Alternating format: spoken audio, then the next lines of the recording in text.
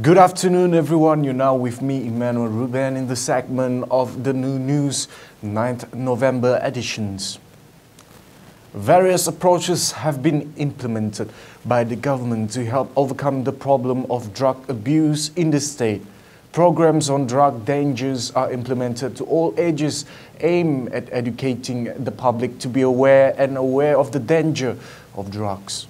According to the Minister of Welfare, Community Welfare, Women, Family and Development, Datuk Sri Abdullah said until October 26, 2017, 89 drug prevention education programs involving 9,000 peoples were implemented by the government with the cooperation and support of the NGOs, the State Department of Sarawak.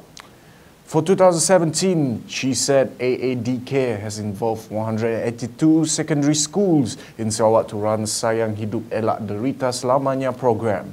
She said these at the 18th session of the State Assembly on answering question from Adun Saribas Razi Sitam. She added that during the period January to September 2017, a total of six major syndicates in Sarawak were successfully arrested.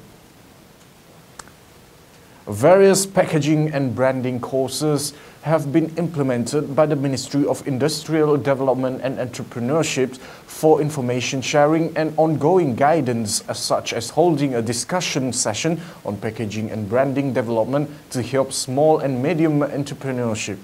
Deputy Minister of Industrial Development and Entrepreneur Dato Naroden Majai said apart from courses, the government also encouraged entrepreneurs to obtain grants for packagings and branding upgrades through various state government agencies. He added that SME Corp also offered assistance under the Bumiputra Enterprise Enhancement Program and the Business Accelerator Program to develop product packaging as well as guidance for packaging and branding design towards the halal certification.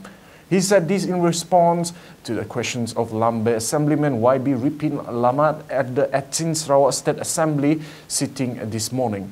In addition, he said, the ministry also work with entrepreneurs agencies such as SEDC, MARA, MARDI, SIRIM, JAIS, and Department of Agriculture Sarawak and FAMA for product development purposes.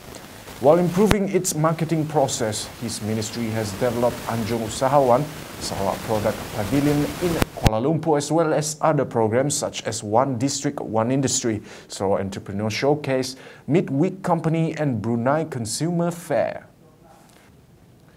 Well, that wraps up our noon news for today. I'm Manu Ruben. Thank you for watching and please stay tuned for news and updates in tvsarawak.com anytime, anywhere.